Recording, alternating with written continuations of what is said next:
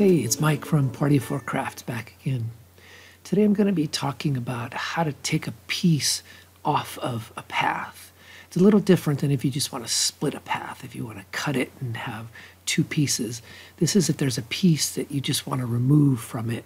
Sometimes you might have a 2019 ornament that you made last year and you want to change it to 2020 and it's already been unioned and you want to take the 2019 off, but it's not in a position that you can just slice it right off.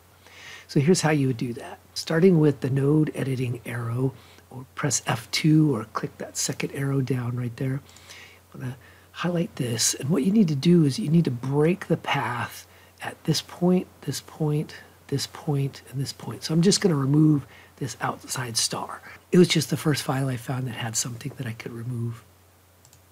So if I click that, up here there are all these um, different path property. This one will allow you to join selected nodes. This one breaks the path at selected nodes. This one joins selected um, end nodes with a new segment and delete segment between two endpoint nodes. So I'm going to use this one, break path at selected nodes. So click that one and break it. Click that one and break it. Click that one and break it. And click that one and break it. Now you can see each one of those are small nodes now. That means there's two nodes sitting right on top of each other. So if I grab one and move it, you can see it's broken there now. So what I used to do is I would just move some of the nodes until I could just highlight this and delete it, but I found an easier way to do it now.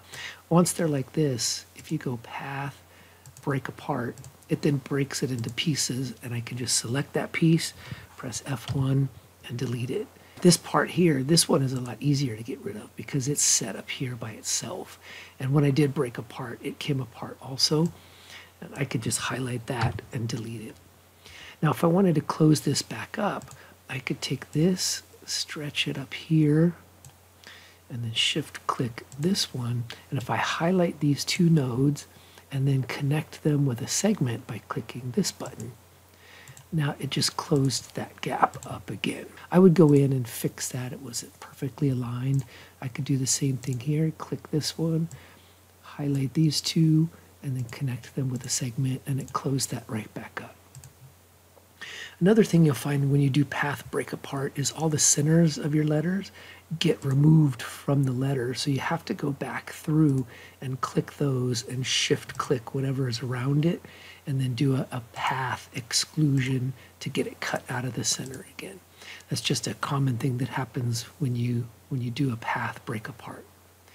So that's it. That's all there really is to it for removing a piece of a path. Break it apart using break path at selected nodes, do path break apart, delete the part that you don't want, and then use the uh, join selected end nodes with the new segment tool to close up the, the gaps that broke apart.